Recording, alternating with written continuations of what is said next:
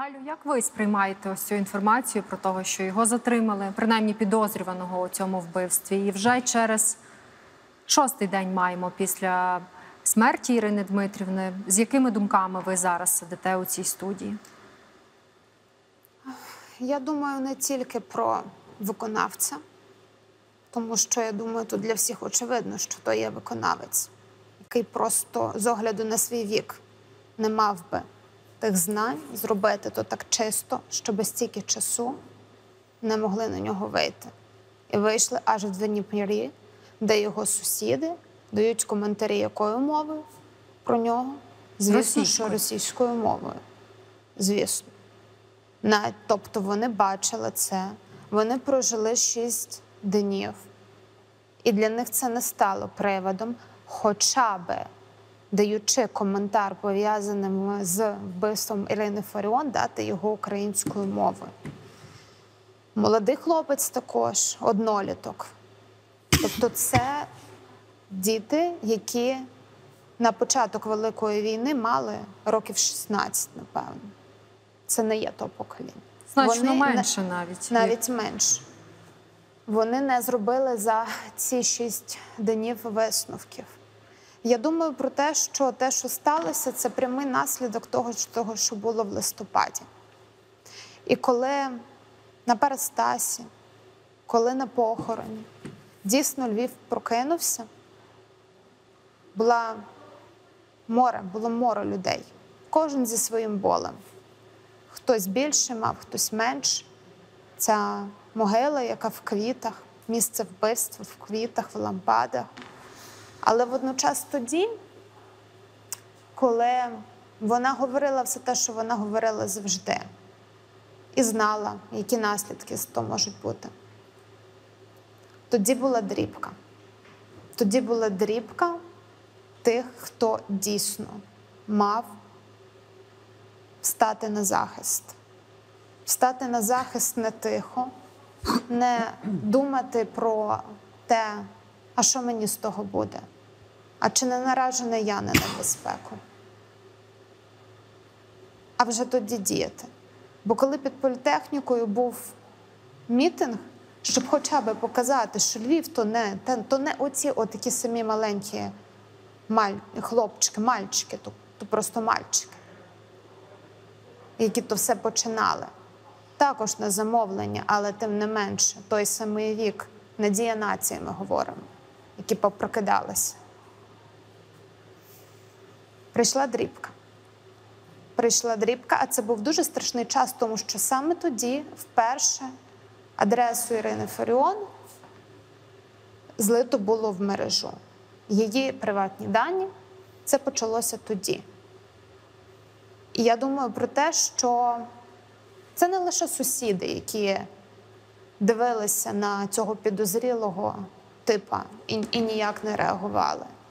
Це велике питання до нас всіх, напевно, чому так сталося, і яка є наша відповідальність також, не тільки в тому, щоб продовжити її працю не тільки в тому, щоб на рівні держави, нарешті, як вона завжди казала, що нація некрофілів, то то дійсно так і є.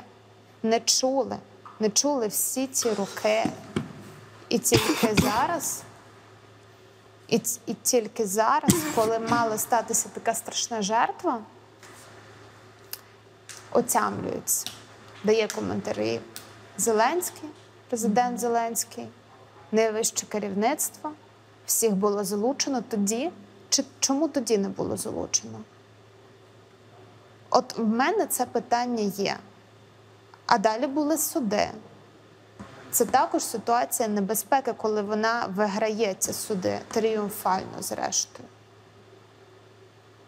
І вся ця історія, я її бачу в розрізі не тільки понад 30 років її шаленої діяльності, насправді жертовної, служіння.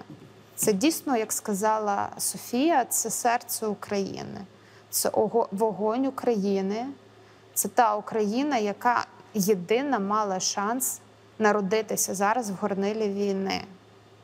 Але жертвою стала вона, вона сплатила цю жертву. І я, напевно, би. Я просто дуже хочу, щоб дійсно кожен, хто зараз дивиться той етер, хто ходить на цвинтар, хто зараз вже шукає її книжки, бо це видно, хто підписався на її канал. Кількість підписників, звісно, збільшилася, тому що це медіапривід, це сенсація. Щоб вони також собі поставили це питання. І що вони тепер мають віддати, що вони мають зробити? Бо зговорити українською мовою це зрозуміло, але цього вже замало. Цього вже замало, щоб Україна, та, за яку вона віддала життя в такий страшний спосіб, дійсно жінка, дуже тендітна жінка, і, а водночас дуже сильна, щоб вона сталася. Я би хотіла завершити, напевно, словами одного з героїв її геноукраїнців, який ви написали у вас тут в студії. Микола Євшан.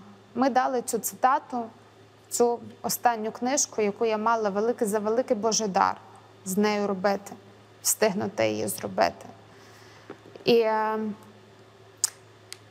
це не лише Євшан, це і Теліга, Олена Теліга, яка ми також знаємо, як вона закінчила свої дні. Вона свідомо пішла на то. Вона не, не, не тікала. Якщо, якщо вона горіла Україною, вона не тікала. Її Тому- теж. Так. Так. І вона також була вогненна, це казав Донцов, що вогонь це, це її образ. І Євшан казав таку річ. Я це читаю, це сфотографувала перед тим, як йти на ваш терс книжки. Страшна трагічна самостійність творців, самотність, навіть тоді, коли юрба признає їх пророчий дар і починає боготворити віддана своїм лиш нікчемним втіхам і за себе тільки пам'ятаючи, вона ніколи не зрозуміє чуттям їх величної туги, вона не зрозуміє їх жертви для себе, за яку вони віддають найкращі свої мрії і найдорожчі самоцвіти своєї душі, а заквічає їх тернистим вінком і поведе на Голготу.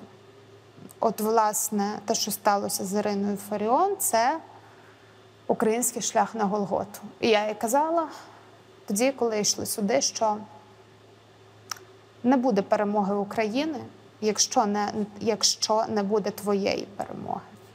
Якщо не буде перемоги того, за що вона віддала своє життя. От такі мої думки.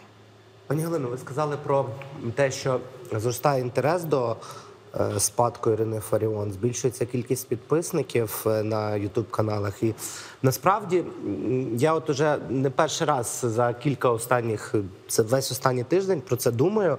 І мені здається, що серед усіх діячів української історії. е, Пані Ірина це людина, яка у своєму спадку вже зараз залишила найбільше цифрового контенту. Тобто, в нас є. А ми живемо в світі цифрового контенту, і це дуже важливо. Так чи інакше, як би ми не казали про те, що ну, ну, тенденція до збільшення читання з роками не відбувається. І цей цифровий контент він справді залишається у віках. І я думаю, що е, саме він стане тою основою. Дуже ймовірно, що саме він стане тою основою, на якому будуть будувати історію України у найближчі десятиліття. Це криваве зерно. Криваве, Це криваве мусимо. зерно, з якого ми маємо зробити все, як я вже казала вам в коментарі. Це страшний наш обов'язок зробити все, щоб проросло. Ми будемо робити, доки, доки є життя нашого. Тому що, тому що інакше це, це було б дуже ницо.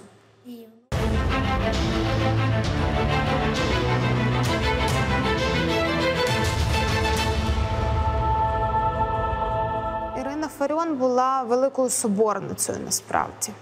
Намагалися провести оце от розділення між Галичиною і Великою Україною, та, і москвомовна частина Великої України, власне, роками там займалася. Але я впевнена, і я відчуваю тут якусь персональну відповідальність також, тому що я з великої країни, що в Києві, в Києві також в столиці має бути і вулиця не десь там, не маленька, як є Бандера і Шухевич зараз. От вони тут з нами, і як вони закінчили своє життя, так само, як і вона. І е, пам'ятник, тому що після тих подій в листопаді перший Дмитро Корчинський, який був у вас, він запросив її. Не у Львові це все було, не на Галичині. Це було в Києві. В червні два рази вона приїздила в Київ також. Ми ходили в Лавру. Це теж було щось, це такі відчуття, що небесні, вже тоді небесні, як вони тішилися тому, що ми відвоюємо. До кінця ще не відвоювали, але от воно є наше. Там, в Києві, як вона приїздила колись до Канева, як до Меки. І скільки за ці півроку, страшні півроку, навіть тяжкі півроку, і я повторюся, може, це зараз звучить не так, як багато хто хотів би чути, але недостатньої підтримки насправді від тих, хто би мали її надати. Це був і Чернігів, це був і Конотоп, це Вінниччина, тобто велика кількість. Це була в планах і Полтавщина, звісно. Одеса. Це була Одеса. Це одна з найперших була Одеса. І вона мені казала: я так швидко звітам поїхала з Одеси, відбула зустріч, що навіть моря не побачила. І ти зараз розумієш оцей сенс того моря. Вона побачила на небі море людей, а море в Одесі вона не бачила. Так, і, і власне ті люди, які приходили звідти, я бачила їхні очі. Вони горіли, часом це були сльози на очах вже тоді, тому що може на великій Україні певні речі відчутні більш гостро через те, що московізація там. Ми, ми прекрасно знаємо, якими методами йшла. І тому я би дуже хотіла, щоб ми її вшанували, якщо ми говоримо про такий державний рівень, не тільки особистісного внеску, праці, жертви, служіння, як вона казала, але і на великій Україні не менше, як у Львові, і в Києві, зокрема, в Осерді. От, тобто, ми, якщо ми вже почали, то, то я мусила то дати, тому що Київ це те, де я зараз мешкаю, і тому я дійсно відчуваю, що ну, це, це, це також те, що я це мій обов'язок зробити все, щоб, щоб це було там. Бо вона приїздила до тих табличок, до тих монументів. Вона так тішилася, коли відкрили табличку Донцова з великими боями в Києві. Вона до них перекладалася як до святощів. Дмитро Мирон Орлик, про якого зробили ген.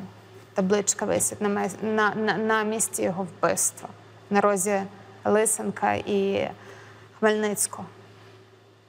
І е, тому це, мусить бути, щоб, щоб пам'ять, пам'ять річ така, яка дуже швидко плинна насправді.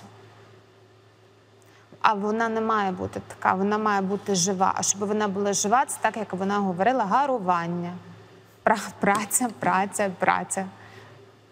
Щоденно.